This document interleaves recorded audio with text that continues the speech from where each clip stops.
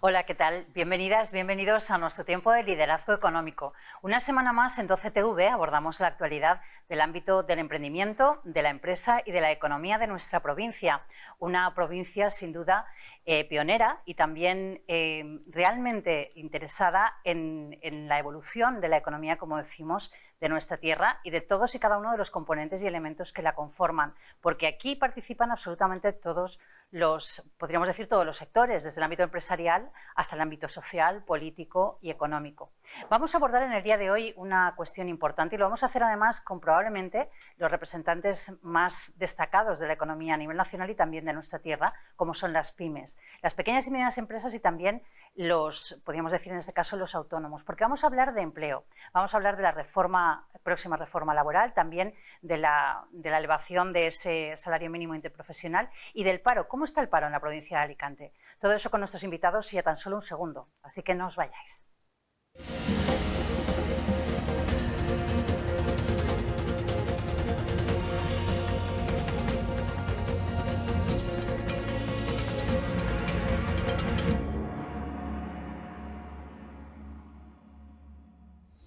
El liderazgo económico tenemos la gran suerte de contar con eh, tertulios, con tertulios de, altura. Y no solamente por su nivel como ámbito profesional, sino como personas. Esas personas que día a día eh, pues dan la cara en los negocios en los que se mueven, dan toda la pasión que tienen y, por supuesto, el talento de su corazón está a disposición de su empresa y de la sociedad alicantina. Es por eso que es un placer invitar y sobre todo poder saludar en esta noche a Jesús Navarro, que es el CEO de Carmencita y también vicepresidente de la Cámara de Comercio de Alicante. Muchas gracias Jesús por estar con nosotros. Buenas noches, gracias por invitarnos. Gracias. También queremos saludar a Serafín Quiles, que es CEO de Ascensores Serki y además miembro de Joven Paerche. Muchas gracias Serafín por estar con nosotros. Muchas gracias por, por contar conmigo, es un honor. Queremos saludar también a mm, Victoria Puche, que es directora del Hotel Maya de la, y además es presidenta de la Asociación Provincial de Hoteles y Apartamentos Turísticos. Además de todo esto, eh, Victoria es presidenta de la Comisión de Turismo de la Cámara de Comercio de Alicante. Muchas gracias. Eva. Gracias a vosotros por contar siempre con, con la voz del sector. Faltaría más. Mm. Estamos en ello. Y también queremos saludar a Eva Toledo, cofundadora y coceo de Padima y presidenta del Círculo de Empresarios de Alicante. Muchísimas gracias por estar con nosotros, Eva, esta noche. Gracias a vosotros por la invitación. Bueno, yo espero que, disfrutéis mucho de este programa, que podáis compartir eh, vuestra sabiduría y sobre todo vuestras ganas de eh, dar soluciones a unas situaciones que, bueno, que en la actualidad nos preocupan muchísimo a, a, los alicantinos y a las alicantinas. Y en el día de hoy, como decía, vamos a hablar de una cuestión importante como es la reforma laboral y eh, vamos a hablar también bueno, pues de la situación del paro, de qué pasa con, con la, las personas que necesitan empleo y de vosotros que necesitáis personas para emplear y que al final bueno, pues parece que no cuadran los números. ¿no? En primer lugar, si, si, nos parece a todos, si os parece a vosotros también, vamos a escuchar eh, las palabras de la ministra hablando precisamente de los pros y los contras para para las empresas, o por lo menos nosotros analizaremos después cuáles son los pros y los contras de lo que plantea esta reforma laboral. Primero escuchamos a la máxima responsable a este nivel en nuestro país. Esta reforma pasa página a la precariedad en nuestro país. Me atrevo a decir singularmente que hay jóvenes y mujeres, los destaco, que no han conocido un contrato que no sea basura en su vida y ahora eh, les vamos a dar la oportunidad de romper con el paradigma o la trampa de la precariedad para que singularmente dejen de tener vidas precarias. Bueno, pues la pregunta está en la mesa. A partir de escuchar a la, ministra de Trabajo, eh, yo quisiera plantearos lo siguiente. Con la supresión de los contratos temporales, eh, tal y como comenta la ministra, se elimina la, la, realmente la precariedad laboral o eso va a producir un efecto rebote que va a provocar que se, haya menos contratación? ¿Qué, qué opináis? ¿Todos al mismo tiempo? No, no, eh, eh, hombre, es el tema de la contrato temporal, fíjate, eh, la experiencia hablo más que como de la, de la Cámara, como representante de la Cámara, hablo como empresario, ¿no? En Carmencita hemos notado que efectivamente tenemos más cuidado de contratar a personas con una especialización, con un nivel, para que luego, si, se queda, no tengamos problemas, ¿no? Antes había más de probar, venga, un contrato, probamos a ver el chaval, este. eso desaparece y yo creo, sinceramente creo que es bueno el que, el que, eh, el que los contratos temporales eh, no, no, existan. Es bueno porque la calidad tanto del, eh, del que empleamos como la empresa sube en calidad personal porque lógicamente seleccionas a las personas que, que realmente van a hacer el trabajo que tú quieres. ¿no? El otro problema es la especialización que no encontramos para puestos determinados, es un problema que, que generalizado pero en el caso concreto de los contratos temporales o fijos, yo soy partidario de los contratos fijos. Es mi opinión personal, ¿eh? fuera de la Cámara. De todos modos, sí es cierto que fuera de Cámara estábamos hablando cuando iniciamos el programa que hay, hay que puntualizar que sois sectores muy diferentes, es decir, cada uno de vosotros se mueve en sectores muy distintos y probablemente la empleabilidad también sea diferente. Totalmente diferente. Por eso, eh, en este caso, ¿tú crees que, a ver, que, por ejemplo, los contratos, si no son de obra y servicios, sobre todo relacionados con el ámbito de la hostelería, en este caso, mm, van a provocar ese rebote para... Bueno, el contrato de obra y servicio ha sido un contrato que no se ha ligado mucho a la hostelería, quizá ha sido más al tema de la construcción siempre. Pero sí que es verdad que en los últimos años, al final, ha habido un poco un totum revolutum a la hora de poder cuadrar eh, la estacionalidad no, no representa para mí lo mismo eh, un año laboral que para seguramente para, para, Carmencita, para Jesús, porque yo tengo un paradigma que es la estacionalidad del sector turístico. Entonces, eh, eh, para mí, no, yo no puedo tener la misma plantilla un mes de junio, julio, agosto, incluso septiembre, que la que necesito desafortunadamente en el mes de diciembre. Eh, en general, eh, la reforma laboral, hasta que no haya una, estacionalidad a lo largo del año, al sector turístico no le afecta prácticamente. Sí que es verdad, y ahí le doy la razón a Jesús, que estamos teniendo mucho más cuidado con la contratación, porque ahora los contratos eventuales que teníamos prácticamente están pasando a fijo discontinuo. Luego puedes hacer un llamamiento por si eh, te hace falta en un determinado momento del año, que no lo tienes contratado en ese periodo fijo discontinuo, pero nosotros acusamos de una manera eh, muy alta la estacionalidad. Y claro, eh, al final a todos nos gustaría tener una plantilla estable los 12 meses del año, pero yo juego con que no tengo el mismo número de turistas. Por mucho que Alicante esté en un buen posicionamiento y que el sector internacional esté ayudando mucho a salvar esa estacionalidad y los meses bajos, como puede ser octubre, noviembre, pero luego llega enero, llega febrero, llega marzo y son meses en los que la empresa turística sufre. ¿Vosotros querríais añadir algo más, Eva, Serafín? Pues eh, yo desde la perspectiva de Padima, que tenemos todo trabajo muy cualificado, como apuntaba Jesús, no hemos tenido incidencia por cuanto nuestra vocación es que las personas que se incorporan al equipo funcionen, se integren y permanezcan. Entonces, siempre nuestra intención y nuestra vocación ha sido de una contratación indefinida, porque eso es interesante para la compañía y la persona que no funciona o no se integra por un motivo u otro, pues evidentemente habrá que prescindir. Entonces, nosotros no nos hemos visto afectados por este cambio. Pero todo nuestro portfolio de, de clientes, que es muy diverso, estoy por un lado totalmente de acuerdo con lo que ha comentado Vicky, y es que hay sectores donde la estacionalidad lleva a que no puedan asumir esos compromisos, y no estamos hablando de dos o tres trabajadores con los que puedas hacer algún tipo de esfuerzo de, bueno, son indefinidos y ya veo en épocas de disminución de su carga de trabajo si los puedo reubicar o, qué puedo hacer con ellos, sino que estamos hablando de plantillas muy numerosas. Entonces, la vocación del empresario es de favorecer a su equipo y a su entorno. Eso debemos de ponerlo encima de la mesa. Pero si queremos garantizar una continuidad y una seguridad para toda la familia que integra una organización, pues tenemos que tomar decisiones que a veces tampoco a nosotros nos gustan, pero eso creo que hay que ponerlo por delante. El abuso que haya podido haber en algunos sectores y en algunos momentos de esos contratos temporales que se iban renovando indefinidamente, de mm, se acaba, vas al paro X días, eh, para parecer no sé qué y luego te vuelvo a contratar, esa es la actitud que debe ser perseguida con educación y con a lo mejor otro tipo de medidas para que no haya, una renova, no haya esa capacidad de renovar esos contratos temporales pasado un día, tres días o una semana. Pero yo creo que hay que dar oxígeno a los sectores que tienen unas necesidades particulares y más aún, por ejemplo, al turismo, que es un motor de nuestra economía. Entonces, todo lo que sea penalizar al turismo nos está penalizando al resto de la economía. De hecho, ¿a quién pensáis que beneficia, en este caso, esta medida, este cambio? ¿A quién podría beneficiar más? Por lo que estáis comentando, bueno, pues está bastante dividida la cosa, ¿no? Yo, bueno, mm, en mi caso yo eh, coincido también con, con Eva también que nuestro sector también es de, de bastante estabilidad y buscamos cuando incorporamos a personas que sean para continuar en el tiempo durante, o sea, formarlos y porque además nuestro proceso es de adaptación es largo y tal. Y en nuestro caso no nos ha perjudicado.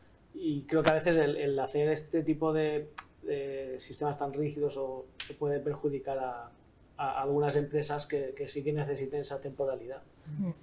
Estamos, y efectivamente tienes razón, estamos hablando de cómo perjudican, pero como yo os apuntaba, ¿a quién puede beneficiar o cómo beneficia esta medida?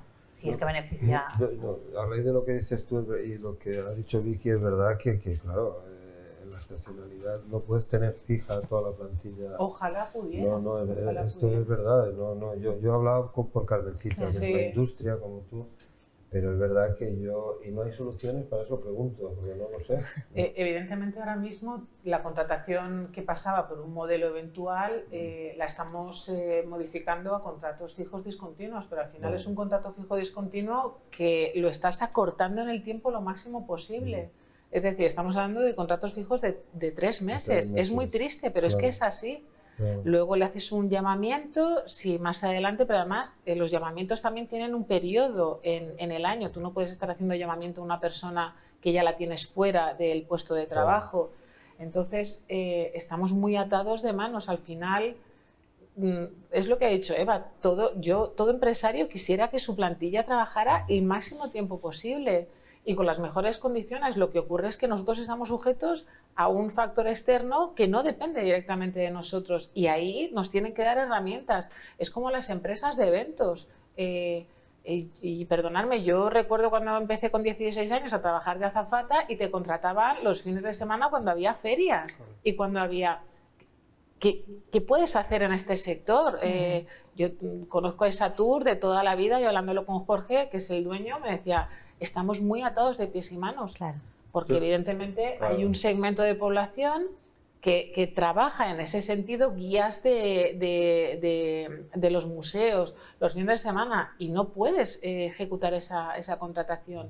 Tenéis que tener una flexibilidad. claro. Necesitamos Una obligatoriamente una flexibilidad. Tienes toda la razón. Sí. Porque la reforma laboral está bien entendida para salvaguardar eh, los intereses y de verdad y defender a mucho trabajador que está en unas condiciones muy pésimas. Mm. Pero tú no puedes meter a todo el mundo en el mismo, en el mismo saco, cuando sobre todo este país eminentemente tiene una industria turística que arrastra el resto de servicios. Es un motor tractor. La, la- la- la industria turística tiene una sombra muy alargada y en ese sentido necesitamos un poco de paraguas mm, para salvaguardar la, ¿Y no han dado ninguna solución? No. Pero, eh, una cosa, por, por ignorancia, el fijo discontinuo al final no es como un contrato. Sí, es un contrato en toda regla, es decir, lo que ocurre es que tiene una, perioci- una periodicidad, es decir, un, Que una- no puedes un calcular. inicio y una duración. No puedes calcular si de Claro. pronto el hotel se te queda vacío. Claro, imagínate Claro. yo, eh, mi grueso de fijos discontinuos los tengo desde abril hasta octubre. Claro. En octubre salen. Pues, pero eso habrá que proponerlo, claro.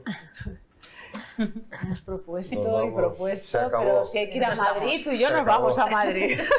Nos vamos a Madrid. Sí, No, yo creo que, que- Sí. que es muy buena la reflexión que ha hecho Victoria de decir que, que no es que desde el punto de vista del empresario haya una adversión a la reforma laboral, ni muchísimo menos, sino que no todos los perfiles, ni todos los sectores, ni todas las Claro. tipologías de empresa tienen la misma capacidad. Entonces, para solventar un problema que existe o que existía, identificado el problema, creo que podría haber existido un desarrollo de qué sectores sacamos de este, este nuevo planteamiento porque necesitan esa flexibilidad, qué podemos hacer en algunos entornos para evitar que esos contratos temporales al final se vayan renovando de forma indefinida. Es decir, creo que se podrían haber implementado otro tipo de medidas que hubiesen logrado ese mismo efecto, porque cuando a una empresa hay un profesional que cumple y que aporta, no va a tener ningún problema en incorporarlo de manera permanente y asumir la incertidumbre que conlleva la actividad empresarial. Si esto fuese todo eh, una ecuación claro, con un sí. resultado claro, pues no tendría misterio ¿no? el mundo de la empresa. Entonces, asumiría esa incertidumbre. El problema es el meter todas las situaciones y todos los sectores en, en, una misma casuística, que es que eso no funciona. Entonces, al final, lo que favorece a unos acaba perjudicando a otros. Sí, lo que pasa es que el tejido, el mundo laboral, el mundo empresarial, eh, yo también es una opinión personal, ¿eh? soy, lo veo todo con un punto común. O sea, si el trabajador no gana lo suficiente dinero, no compra y la empresa no vende. Claro. Si la empresa paga más de lo normal, la botella de agua esta vale más, el competidor vale más, no vendo la botella y, y hay más paro de mi empresa. Claro, es una pescadilla que se muerde la cola, pero esto no lo vamos a descubrir en este programa, esto es histórico desde los egipcios. Entonces, eh, yo creo que mirarlo, el otro día estuve con comisiones obreras y con UGT en un acto con los representantes que no los conocía y yo me... tradicionalmente Carmencita se lleva bien con, con los trabajadores. Eh, es una historia que viene de lejos. Vamos a cumplir 100 años y mi abuela entraba al café con leche cada día a los dos trabajadores que había, luego eran seis, y esa relación familiar, hoy somos 500 y pico, y, continúa el café con leche, no, no, cada uno se lo toma, pero me gustaría que viéramos todo desde un punto de vista igual. El, trabajador es una persona igual que el empresario, no, no somos bichos raros, ni el trabajador ni el empresario. Entonces, hay que verlo en una situación común para que el país funcione bien, tiene que estar contento el trabajador. si a un camarero, el otro día me lo decían, venía de Soria al pobre a trabajar a Alicante, le pagan 800 euros al mes, ¿qué hace un camarero de Soria en Alicante con 800 euros al mes? Buscarse novia o no puede sobrevivir. no, puede. Bueno, te tengo que decir que eh, la comunidad valenciana está respaldada por un convenio colectivo cuando muchas otras comunidades autónomas no lo tienen. Te, hablo del convenio de hostelería. En este momento, este año, se ha hecho una negociación con sindicatos solamente de un año, porque sí que es cierto que no vamos a poder entrar en detalles eh, más allá de este año debido a la subida de inflación, etc. Y se ha subido un 4,5% respecto a, una negociación que, hemos tenido con ellos. Eh, hay unos salarios mínimos al final ¿Qué, parte es la que yo veo que flaquea más? ¿Cuál es el salario mínimo de un camarero en la legislación? alrededor de 1.200. 1.200 euros. De acuerdo. Lo que ocurre es que eh, fallan los mecanismos de control la mayoría de veces. Estábamos mm. hablando de las inspecciones de, trabajo. Este mm. tipo de cosas las tiene que regular mm. eh, las inspecciones de trabajo. Hay un convenio colectivo que respalda a los trabajadores en esta comunidad valenciana y además debe estar implementado los trabajadores tienen que ser conocedores de ellos. Que hay mm, piratería y pillaje todavía, claro que sí. El otro día hablaba una prensa cualificada de Alicante de que hay 120.000 otra vez eh, sin contrato. Sí. Gente sin contrato. Pues hay mecanismos para que esto... fraude sí. laboral, lo cual es lamentable para el trabajador y para toda la sociedad, porque no pagan impuestos, no, la sanidad cae. Eso es lo que, lo que deberían de centrarse esfuerzos en, en, perseguirlo. Si es a propuesta o por imposición del empresario, no merece tener el nombre de empresario esa persona. y si es porque el trabajador no quiere mm. tributar y participar y Igual con el resto de la sociedad y sin embargo sí que se beneficia de un sistema sanitario, de educación y de unas infraestructuras, pues esa persona lógicamente tiene que ser denunciada y tiene que cumplir, porque hay casos de los dos lados y casos luego dicen que dicen que, que, se juntan ¿no? los dos mm. que son, bueno, pues a lo mejor hay que ver si es que esas casuísticas hay un imán y se atraen empresarios con esa cultura ideología con empleados o trabajadores que también les va ese juego. Perdona, ¿qué querías decir? En ese caso que también muchas veces son el, típico fontanero, electricista que hace los trabajos, que lo que estábamos hablando también fuera de cámara, que muchas veces con las ayudas que se reciben, mucha gente no quiere, no hmm. quiere trabajar de contrato porque por otra parte están haciendo otros trabajos que yo creo que van más por ahí, por estos hmm. sí, sí. Eh, que, no se declaran como autónomos y están haciendo los trabajos. Pero, pero hay unas reglas de juego, como decían, hay unas reglas de juego legisladas, eh, porque si no el país no funcionaría, ni este ni ninguno del mundo. Los países subdesarrollados, por desgracia, pues no hay, no hay nada. Tú te mueres en la calle, te mueres y ya está. ¿no? Aquí no, no ocurre eso. Eh, bueno, estoy pensando en la, en- en la Cámara Solidaria que hacemos los 650.000 menús, que tu madre como presidenta de la Cruz Roja conoce bien. Y, y en, en Alicante hay 600 personas que viven en la calle, ¿eh? que nadie las mira, nadie les da de comer y por eso lo hemos hecho nosotros. que- pero repito, hay, tiene que haber las reglas del juego, pero claro, es lo que os decía antes, hay que verlo desde, ima- imaginaos desde verlo desde arriba y ver al empresario el mismo tamaño, la misma importancia que el trabajador. O sea, me hace gracia cuando se oye el empresario es... eh, no, no, si estamos todos y nos interesa estar a todos bien, porque si no es un, un- un desastre. Correcto. Jesús, has dicho algo, algo muy importante, creo que además bueno, habéis dicho cosas muy interesantes, pero sobre todo eso, no hay que demonizar al, al trabajador, tampoco hay que demonizar al empresario, Exacto. porque si al empresario le va bien al trabajador lo mismo y viceversa. ¿no? Eso quizás sea algo importante dentro de, de, bueno, de las manifestaciones que se hacen en este caso, ¿no? porque parece que el, el- el poner en marcha este tipo de medidas significa que, bueno, que es que por fin el trabajador va a tener sus derechos respetados. ¿no? Y, y realmente, eh, bueno, hay que ver todos los matices, ¿no? porque como estáis comentando, hay, hay, hay actitudes en un lado y en otro que son deplorables y otras que son muy reconocibles To- y, to- y positivas. sí, todos vemos las películas americanas donde un jefe le te dice, oye, despedido. Y aquí en España es cajita, imposible. eso es imposible. Aquí es despedido, no puedes. Allí los despide- el despido es libre, en Estados Unidos es la ley de la competencia. Claro, eso está bien, eh, el país es el número del mundo en riqueza, en todo, pero también hay una pobreza enorme en Estados Ya. Unidos. Hay gente que vive en la calle, el otro día se veía, pero miles y millones de personas que viven en la calle absolutamente abandonadas. Claro, yo me pregunto, ¿eso es, todos queremos ver eso? ¿Todos queremos ese abandono de la...? Entonces, lo de Estados Unidos tampoco, tampoco funcionó lo de Rusia, ¿no? Y ahí están los hechos, ¿no? Que han pasado de comunismo a corrupción y encima ahora una guerra.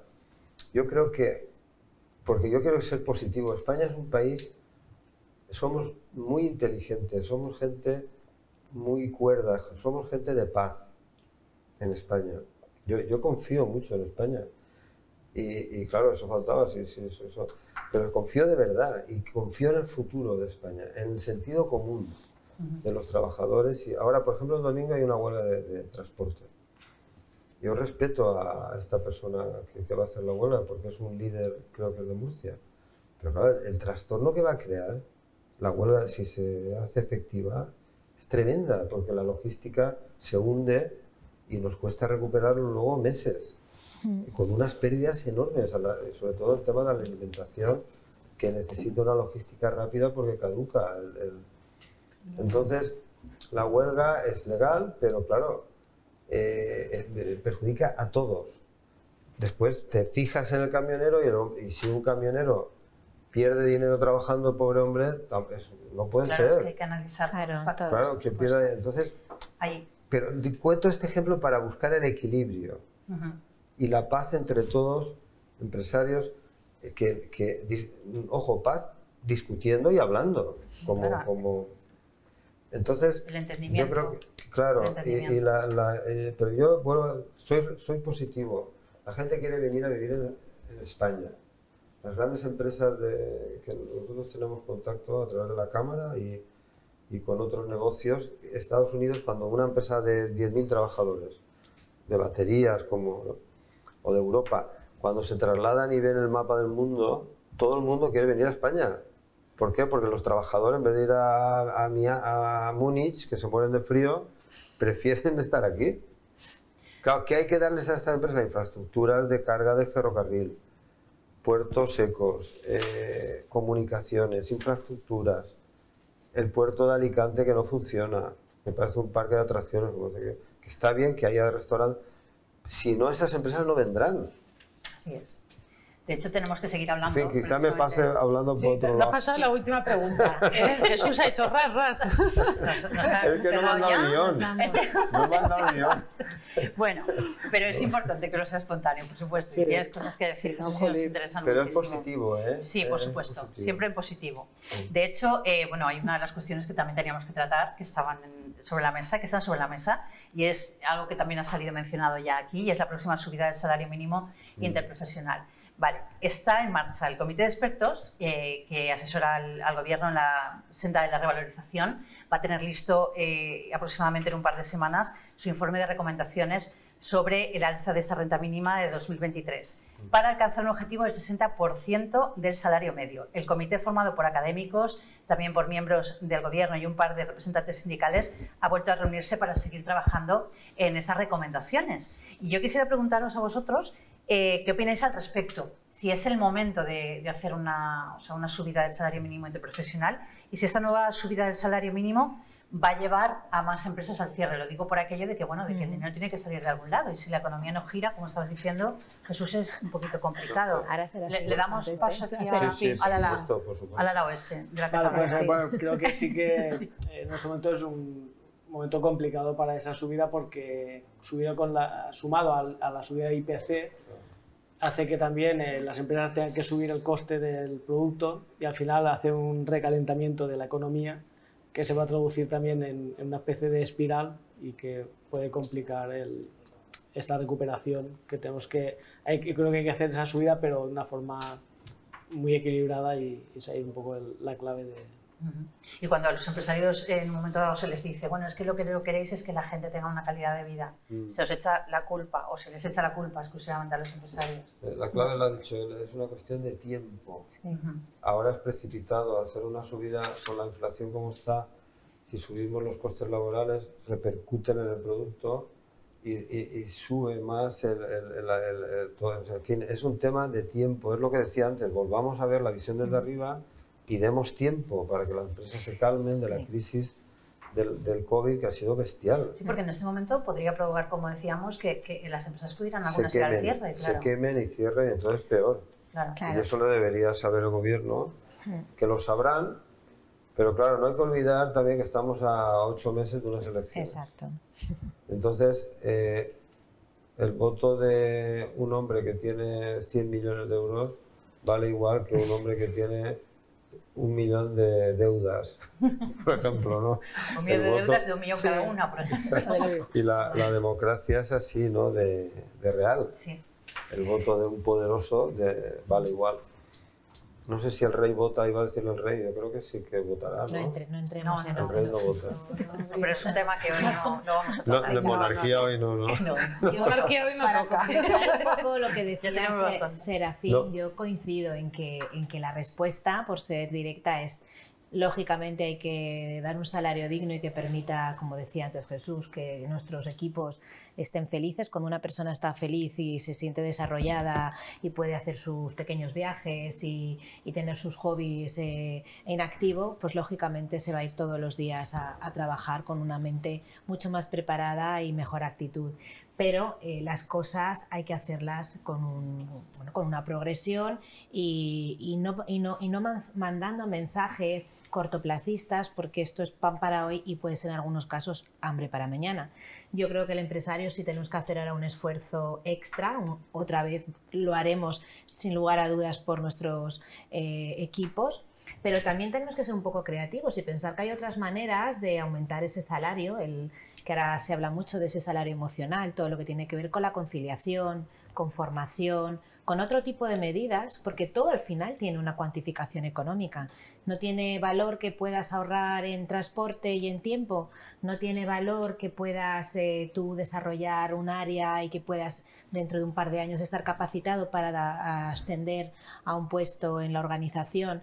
Hay muchas cosas que en la economía una de las principales claves es que todo eh, se puede transponer a un valor económico. Entonces, creo que a lo mejor es el momento de ser un poquito más creativos y ver que no todo tiene que pasar por eh, nómina eh, tradicional, sino que hay otras maneras de premiar y de pagar a los equipos a través de, otros recursos. Entonces, bueno, pues lo apunto porque creo que es interesante la, La pregunta que hacía es, el gobierno no va a quemar el motor porque no, no, no puede forzar y, y, hará una cosa que pues, se puede hacer, lógica, si no las empresas van a cerrar y peor.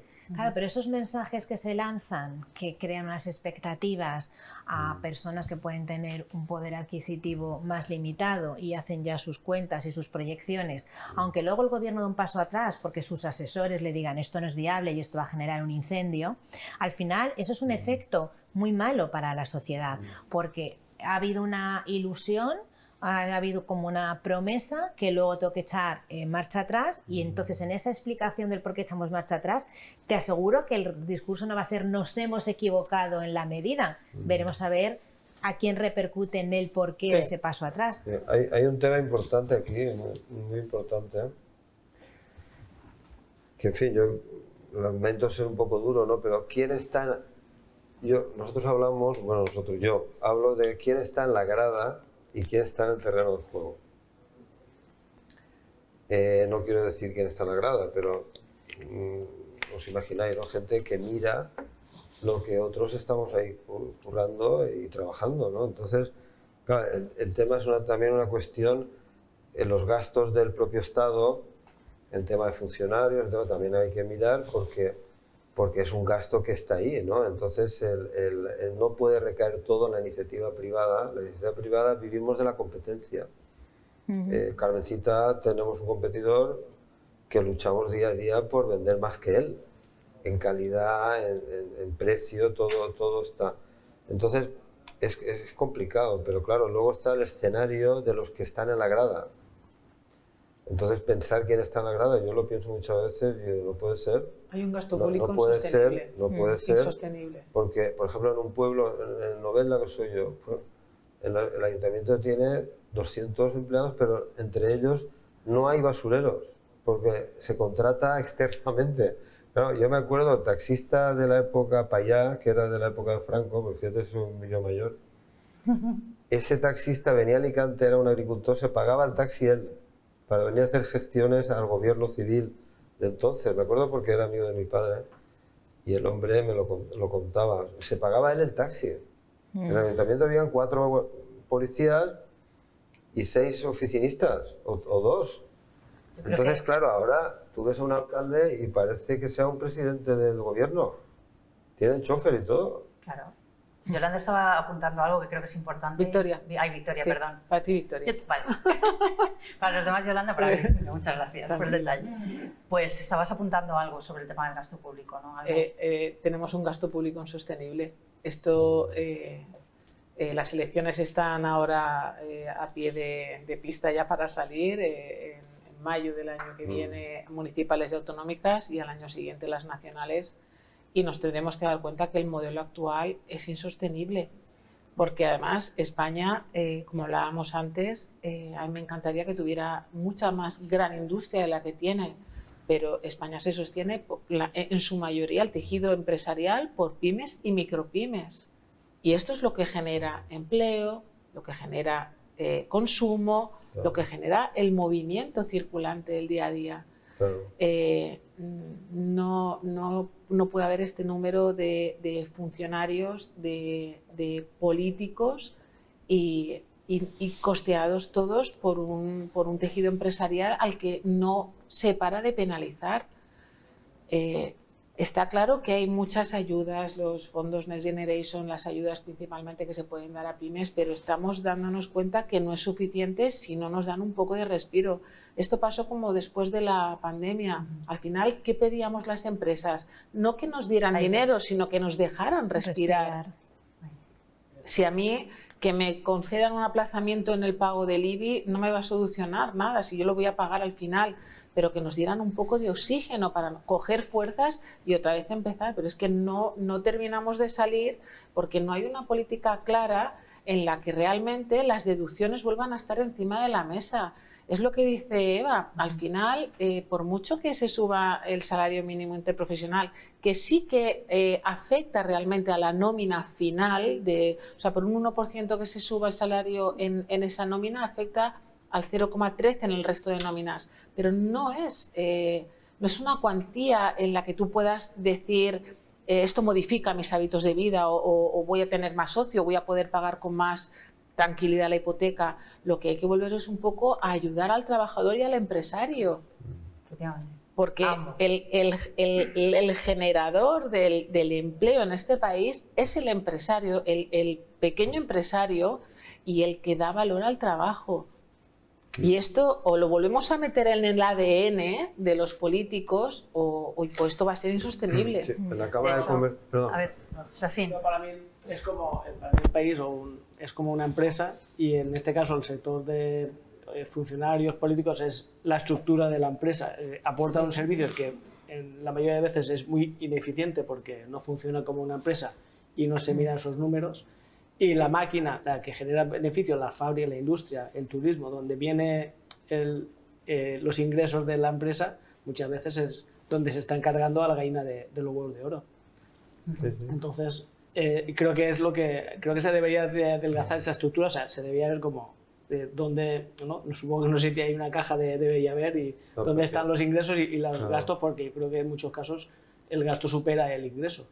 Y, estamos cada vez más endeudados. Claro, el problema es que ahora nadie de los que venga en las próximas elecciones sean amarillos, rojos o verdes, nadie va a poder eh, aligerar eso, porque los funcionarios, ya sabemos la casuística de los funcionarios, han ganado una plaza eh, de por vida y luego hay muchas medidas que, que serían muy impopulares. Entonces lo que tenemos que hacer es que yo me, orientaría más a, las ayudas que se están dando y que son ineficientes, porque el cuerpo de funcionarios, bueno, pues se puede reorientar sus tareas, sus responsabilidades hacia otros departamentos, no lo sé, pero desde luego donde yo sí que creo que tenemos que trabajar o que deberían de trabajar los que tengan las responsabilidades y competencias es en el tema de las ayudas, para que reciban ayudas ya no te digo los empresarios que lo que coincido con Vicky en que lo que queremos es un marco de trabajo que nos permita respirar. Yo no quiero que me regalen nada, sino que me dejen trabajar. Pero a lo mejor sí que pueden haber empresarios de unos hay, perdón, empleados o trabajadores de unos determinados niveles o situaciones que sí que necesitan una ayuda para complementar sus capacidades, para ayudar a que sus hijos puedan tener otra serie de, de desarrollos, pero centrándonos tanto, tanto eh, en ayudas que en muchos casos están generando un efecto, es que esto parece que es políticamente no correcto, pero hay que decirlo, un efecto disuasorio a la búsqueda activa de empleo y a la formación. Totalmente de acuerdo. Entonces, eso es lo que hay que mirarlo. Ayudar a quien lo necesite, por supuesto. Por supuesto, porque eso es la grandeza de nuestro país, como comentaba Jesús. Y yo estoy muy orgullosa de que mucha gente quiera venir aquí buscando una buena calidad de vida y un futuro para sus familias. Pero por favor, es que esto mm, es insostenible, es que, es que tenemos que ponerle límite. Entonces, esas ayudas creo que se han dado con las manos abiertas, sin haber un control en absoluto suficiente y que se está generando un efecto muy negativo que en pocos años vamos a ver esas consecuencias. Y es eh, que hay gente que es experta en vivir de determinadas circunstancias. y nadie, nadie, se, nadie, se, nadie se niega, ningún empresario se va a negar a las ayudas, porque hay gente, como dice Jesús, y ellos están haciendo una labor a través de la Cámara de Comercio, a través de Alicante eh, eh, Gastronómica, eh, vamos, eso no lo pone nadie en duda pero fomentemos esa ayuda como complemento, es decir, que exista una búsqueda activa de trabajo, que exista un trabajo las ayudas sean para fomentar la búsqueda de empleo no, no acercarme No, no, no, incluso cuando ya tienes un empleo, pero mira, eh, que tu eh, alquiler no lo puedas pagar con tu empleo o que eh, tus hijos, por ejemplo, o, tú mismo, que no puedas tener un desarrollo personal con lo que te pagan.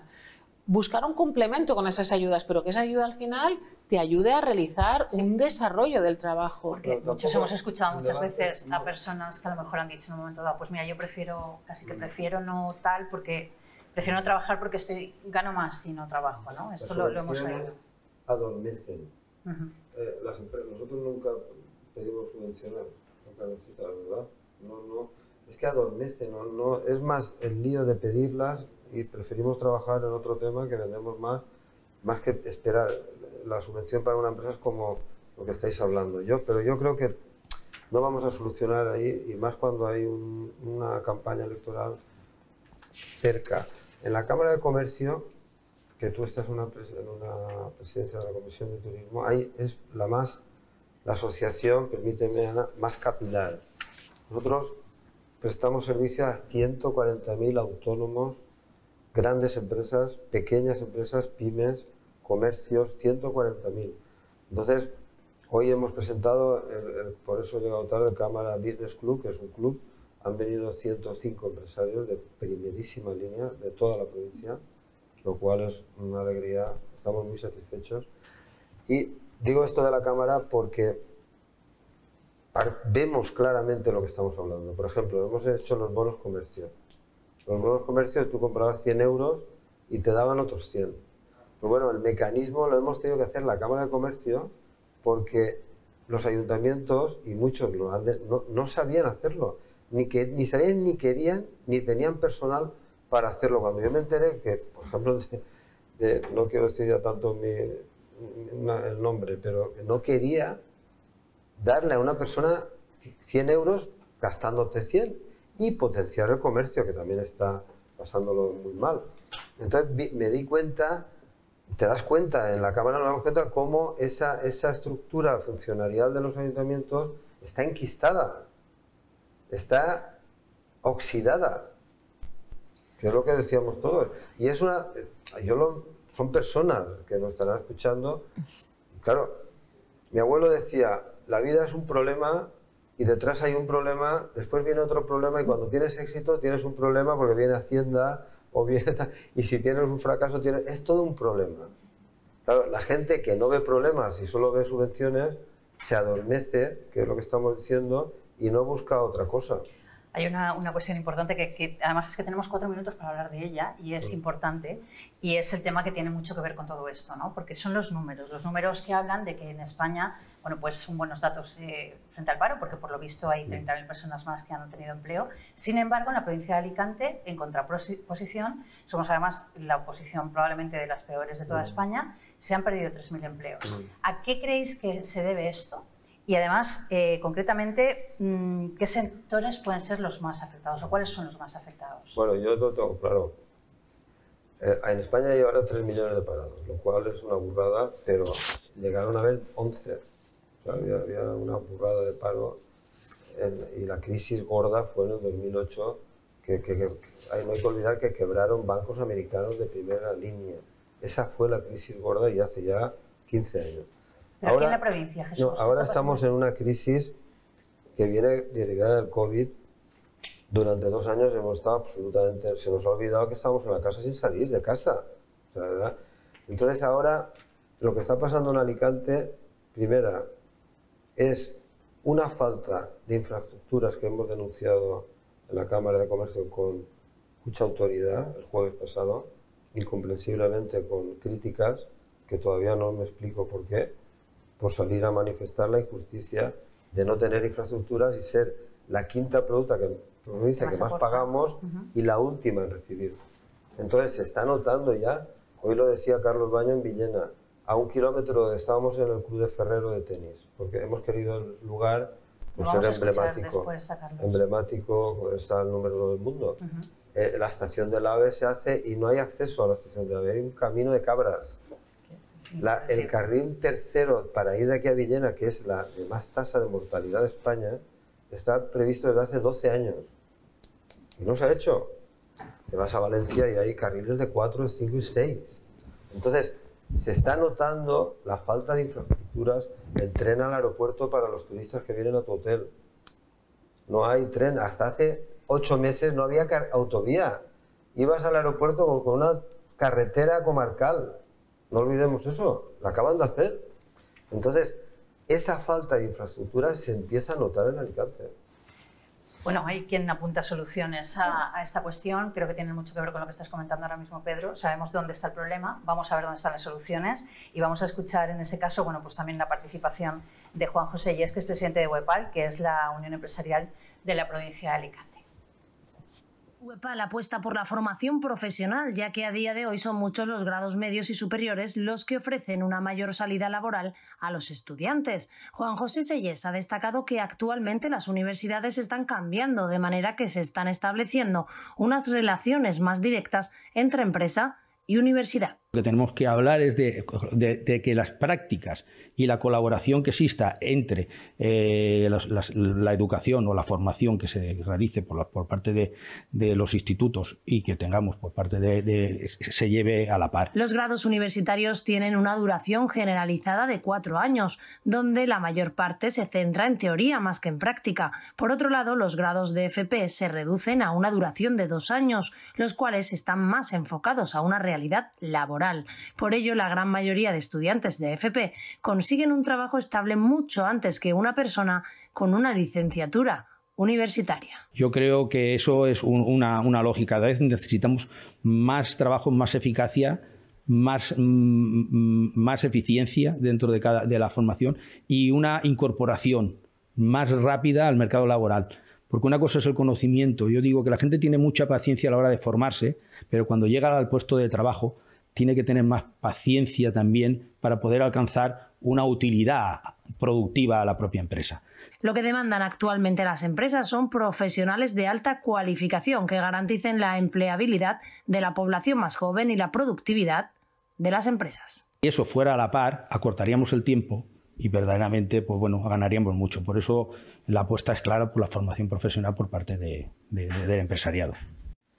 La apuesta por la formación profesional, ya lo habéis escuchado, al margen de esas infraestructuras que estamos reclamando, obviamente es una buena apuesta. ¿Qué querías comentar, Eva? Sí, yo no me puedo resistir porque también soy profesora en la Universidad de Alicante, entonces pues eh, tengo que dar un comentario con conocimiento porque llevo más de 20 años como profesora asociada.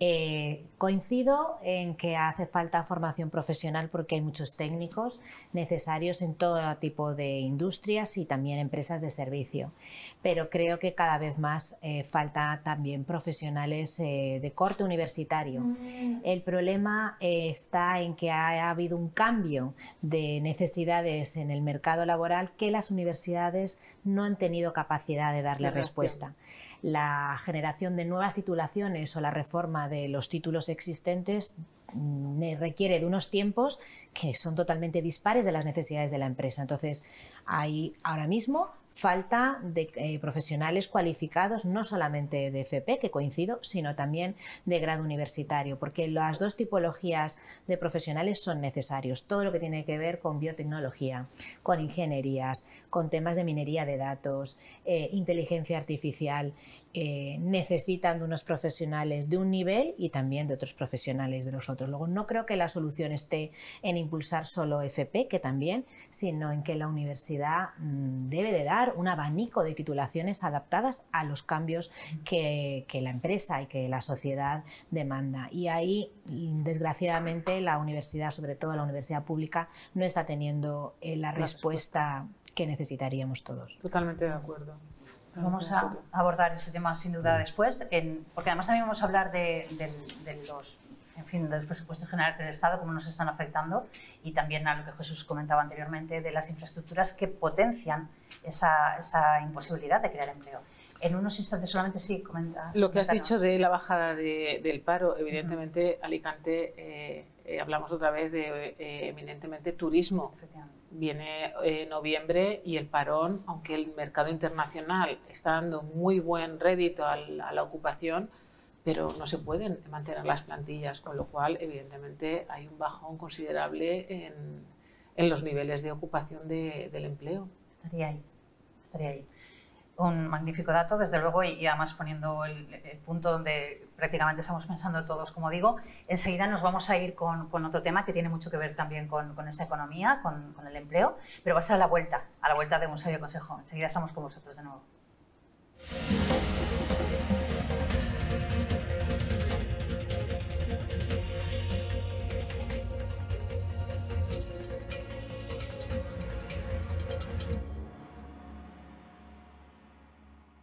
Dicen que el agua es necesaria para sobrevivir, pero eso es quedarse corto, porque somos muy de saltar, de cantar en la ducha y muy de bebernos esta botella que está muy llena de vida, de muchas vidas.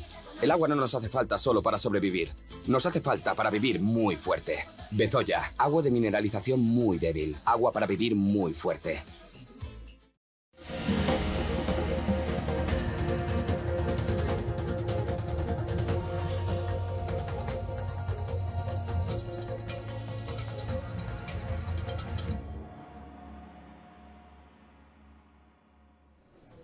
La actividad es infinita, mientras también tenemos esta pausa y seguimos nosotros hablando aquí, pero no queremos que ustedes, que vosotros os perdáis absolutamente nada de los datos que se, que se manejan en, en esta mesa. Eh, de hecho, hay una cuestión importante. Alicante está a la cola, es decir, es la última provincia en, eh, bueno, en, lo que es el número, en la cantidad de dinero que percibe cada, cada alicantino y cada alicantina de los presupuestos generales del Estado. Sin embargo, como apuntaba Jesús, ya lo hemos venido diciendo en las últimas semanas, somos la quinta provincia en aportar. ¿Esto en qué medida entendéis vosotros que está afectando al empresariado mm, de la provincia de Alicante? ¿Y, ¿Y qué es lo que necesitan realmente las empresas de modificación de esos eh, presupuestos generales del Estado. ¿Quieres tú, Serafín? Bueno, pues creo que lo que ha comentado también Jesús antes, eh, las infraestructuras que tenemos que son deficitarias y tenemos eh, unos trenes de hace 50 años o las carreteras. Al final, esto hace también que tenemos una provincia muy rica donde tenemos una diversidad de, de industria, agricultura, turismo, ocio, tenemos una muy atractiva, pero luego estamos mal conectados, por ejemplo, tenemos esta falta de, infraestructuras para mm. poder, los puertos, el, tema de...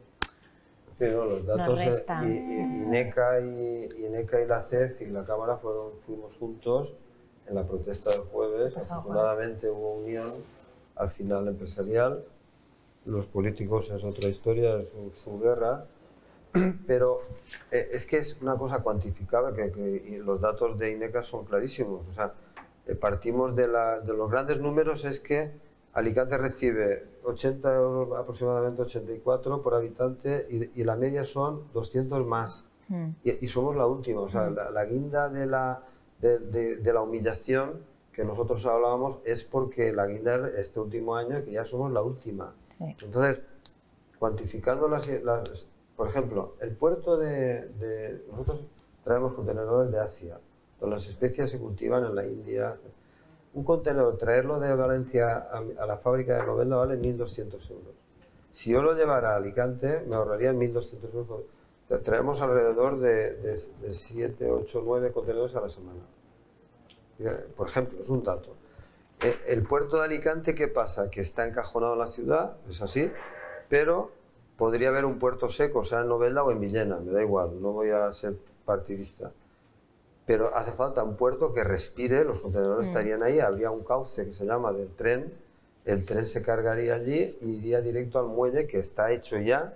Solamente faltan 5 kilómetros de catenaria, que vale unos 3 millones de euros. O sea, es una miseria lo que vale electrificar ese, ese trayecto que ya está hecho, o sea, que no son miles de millones de y el tren, el, el, el, el, puerto de Alicante, aparte de ser de restaurantes y tecnología, está bien, sería un, un puerto como son todos los puertos del mundo, que es un puerto de mercancía, para que entre barcos, descarguen y se lleven barcos. Mm. Entonces, eso no se hace, ni se decide el puerto seco, ni se pone la, los tres kilómetros que son tres... Eh, entonces, en esos pequeños detalles cuando te das cuenta del abandono mm que tienen desde Madrid y también desgraciadamente desde Valencia. O sea, abandono total. Es que no hay nadie allí que diga, oye, perdona, ¿y en Alicante qué? No hay nadie. por, ese pequeño detalle, porque las grandes cosas, los grandes millones, que son la tercera vía de, la carretera, que esos son millones, eh, el, tren a la costa, ¿vale? Pues esos son 3.000 millones, ¿vale? Es un, es un tema a, a verlo en el tiempo, pero estas tonterías es cuando te das cuenta que el abandono es total. Mm. Total. Total. Y además, eh, bueno, la verdad es que una manifestación importante, como estás comentando, que, que, era necesaria, que es necesaria, y estábamos hablando de unidad, ¿no? En este caso. Totalmente, de unidad, todos los sectores productivos del tejido empresarial de la provincia. El orgullo la convocó la Cámara de Comercio, el orgullo es ver a todos los sectores de todos, todas las asociaciones, todas. ¿Os parece que veamos la noticia de esa manifestación? Vamos con ella. Cientos de alicantinos se han concentrado este jueves en Alicante para exigir al Gobierno central que acabe con la infrafinanciación que sufre la provincia en los presupuestos generales del Estado año tras año desde 2018. Con el lema Se acabó, la manifestación fue organizada por la Cámara de Comercio Alicantina y secundada por el PP, Ciudadanos y Vox en un acto frente a la subdelegación del Gobierno en el que se ha reclamado que Alicante deje de ser la provincia donde menos inversiones por habitante se realizan de todo el Estado. A partir de ahora lo que vamos a seguir es seguir reclamándolo hasta que consigamos lo que nos merecemos. Y mientras, hacer un seguimiento de la ejecución de los presupuestos para conseguir que el año que viene, en vez de haber parches, haya un presupuesto digno para esta provincia como nos merecemos. Y ya está. En estos presupuestos generales del Estado para 2023, las inversiones ascienden a 160,3 millones de euros, 100 millones por debajo de la media, mientras somos la segunda provincia de España en la que más ha crecido la población desde 2020 y la quinta que más aporta al PIB estatal. Por su parte, Carlos Mazón, presidente de la Diputación Provincial de Alicante, ha afirmado que ha decidido levantarse y ha dicho basta ya. Cuando uno ejecuta la mitad de la mitad de la mitad de lo que promete, pues es difícil compensar. No podemos ser la manta del pobre. No se puede taparse la cabeza y destaparse los pies. Aquí lo que hay que hacer es que ir a Madrid, reivindicar en Madrid lo que nos corresponde para que los presupuestos de la Generalitat sean como tienen que ser en las tres provincias y para que los presupuestos del Gobierno de España sean lo que tienen que ser en las tres provincias. Esto de compensar puede quedar bien en un papel, pero no es suficiente. Alicante y la Comunidad Valenciana necesitan otra cosa. La inversión por habitante en estos presupuestos generales del Estado para 2023 es de 85,48 euros por persona frente a una media estatal de 283,72 euros. Ante ello se pronuncia Joaquín Pérez, presidente de la Confederación Empresarial de la Comunidad Valenciana. Creo que es lo que Alicante nos merecemos, que podamos reivindicar lo, que verdaderamente necesitamos, que realmente lo único que pedimos es que nos den lo, justo, lo que, lo que realmente nos pertenece. La situación real es todavía más grave, pues la provincia de Alicante cuenta con una población flotante no censada muy importante y con dos millones de visitas de turistas anuales, lo que incrementa de forma severa el impacto en sus servicios públicos. Estábamos hablando de esa cuestión importantísima, desde luego, ha quedado patente ese apoyo de, todo el empresariado y también de una cuestión que queríamos destacar en nuestro programa, cuando ya nos queda muy poquito para terminar, pero que tenía que salir, por supuesto, este tema, y es eh, algo de lo que ha mencionado Jesús hace, hace tan solo un momento, que es la reunión de los patronos de la Cámara de Comercio hoy mismo en Villena. Si os parece, vamos a escuchar las palabras de Carlos Baño de nuevo, pero en este caso de esta misma mañana, y, y comentamos en un momentito. Pues hoy precisamente es la puesta de gala de, lo que va a ser la Cámara Business Club. Y ni más ni menos que la Cámara Business Club lo que, lo que va a ser es un club de encuentro de empresarios para hacer un, un pool común, para mirar por los intereses de la provincia, para generar networking entre las empresas, para estar más cerca de la sociedad y para estar mucho más cerca también del tejido empresarial. Y este es el, único objetivo, no hay ningún misterio, es simplemente que desde que tomamos la nueva directiva, posesión del cargo, pensamos que teníamos que hacer crecer a la Cámara, estar más cerca del tejido empresarial, contar más con las grandes empresas, que son las que más aportan también a la Cámara de manera voluntaria, y entendemos que tenemos que darles una atención, un cariño especial y sobre todo estar cerca, escucharles, ser partícipes de sus necesidades y entre todos pues construir una provincia más potente, más útil y más cercana a la sociedad y más sensible también. Hay una palabra que destaca especialmente, es la palabra cercanía. El estar unidos y desde luego el, reivindicar juntos lo que, el lugar que le corresponde a nuestra provincia. Eh, ¿Querías comentar?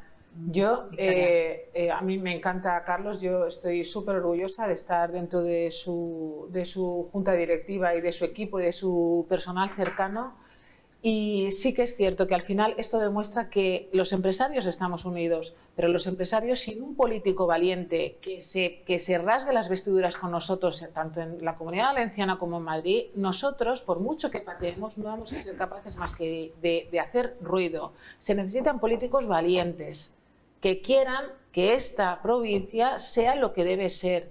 Y aquí esto es un mal endémico, no porque ahora esté el PSOE y el PP, y no, no, es que aquí ha confluido durante mucho tiempo el mismo gobierno nacional, autonómico y municipal y hemos estado a la cola.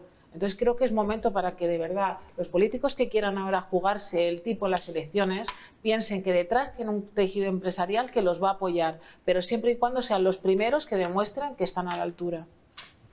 Totalmente de acuerdo, Victoria. Vosotros queréis apuntar algo, me imagino, a lo que ha comentado vuestra compañera de mesa. Bueno, yo simplemente reiterar que la, unión de los empresarios de, de, la provincia ha quedado manifiesta, que espero que no sea un efecto efervescente que luego se nos pase el picor y que nos demos cuenta, yo entonaría un poco también el mea culpa, que la situación que ahora vivimos también creo que tenemos nosotros algo que decir.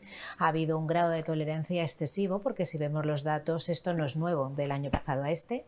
Entonces creo que para ser justos deberíamos de darnos cuenta que a lo mejor nosotros hemos propiciado en alguna medida esto, ¿no? Yo el otro día hablando con un empresario le decía, mira, esto es como en un cumpleaños, y perdóname porque eso puede ser un ejemplo un poco frívolo, una madre que está repartiendo la tarta a un montón de niños alrededor de la mesa como locos porque todos quieren la tarta, si hay dos en este rincón que están no para ti, no para mí, que no me toques, qué tal, al final ¿qué pasa? Pues que esta señora está buenamente repartiéndolo entre todos los fieras que tiene alrededor.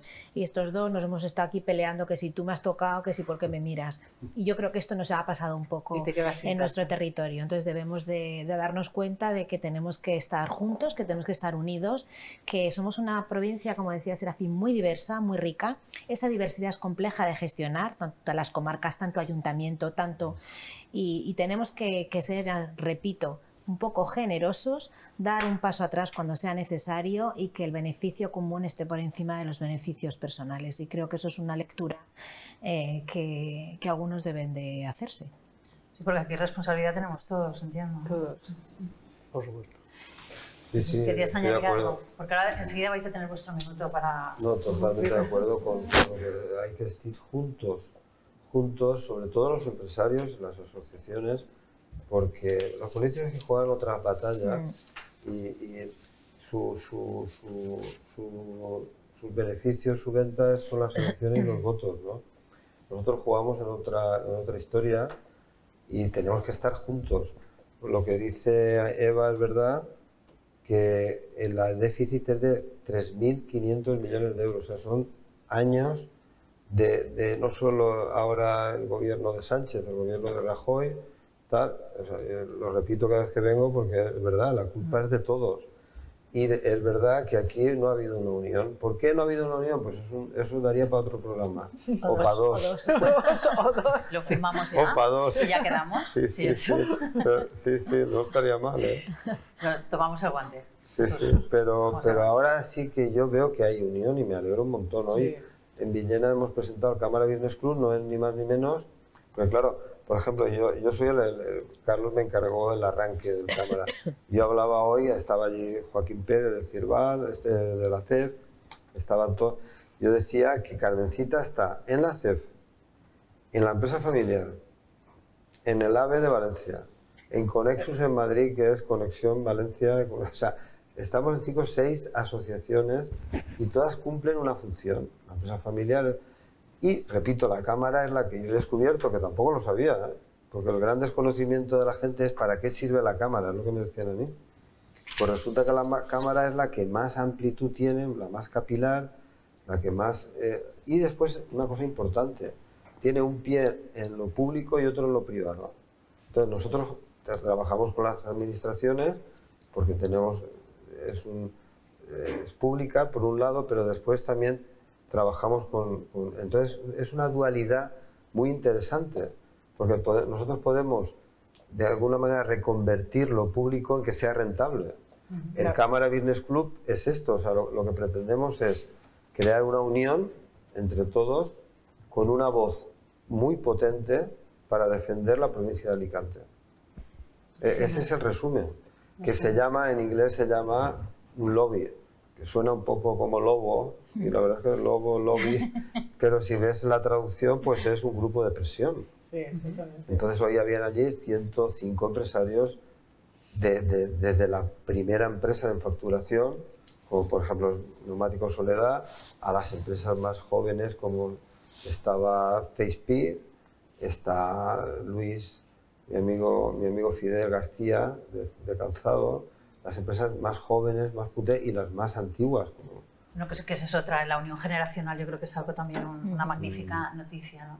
no tenemos tiempo para mucho más, así que eh, yo os voy a pedir que en 30 segundos me hagáis un balance, me digáis conclusiones de este programa, sobre todo si os habéis sentido cómodos. Serafín, eh, ¿cuál es tu balance de lo que hemos hablado en el día de hoy? Pues, pues yo creo que los empresarios, las empresas, al final representamos a, a todo el sector productivo, industria, turismo y todo el sector, eh, debe de ser escuchado por los políticos porque son los que realmente generan la riqueza y hacen que funcione el país.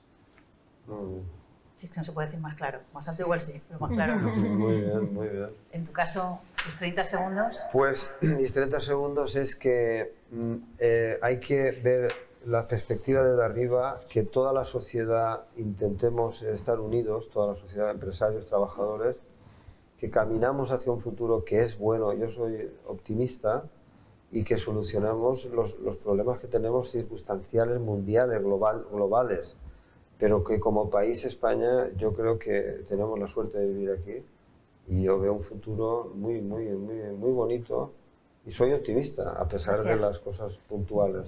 Por supuesto que sí. Eva. Bueno, por añadir algo distinto, yo mm, te diría que si volviese a nacer volvería a elegir eh, ser empresaria, que aporto modestamente lo que puedo a mi equipo y a mi entorno y creo que es fantástico poder dejar algo de ti en los que te rodean y que me gustaría, pues para ese futuro prometedor que, que, Jesús augura, que yo también soy muy optimista, pero me gustaría que la figura del empresario en nuestro país tuviese más reconocimiento como el que hay en otros, en otros territorios, porque hay muchos empresarios que han apostado su patrimonio, que han por no, no, despedir a gente y por conservar sus equipos y sus sueños y que debería de salir eso en los telediarios, sino la imagen del empresario corrupto o que tiene a gente en unas condiciones infrahumanas. Muchísimas gracias por tu reflexión. Eva, muchas gracias.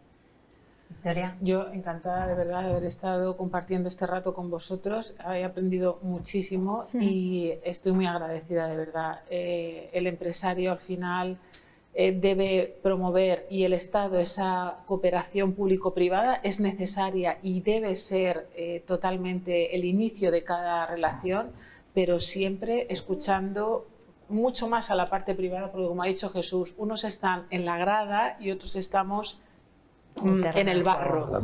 Y al final el del barro es el que sabe cómo, cómo están las cosas realmente, desde los despachos.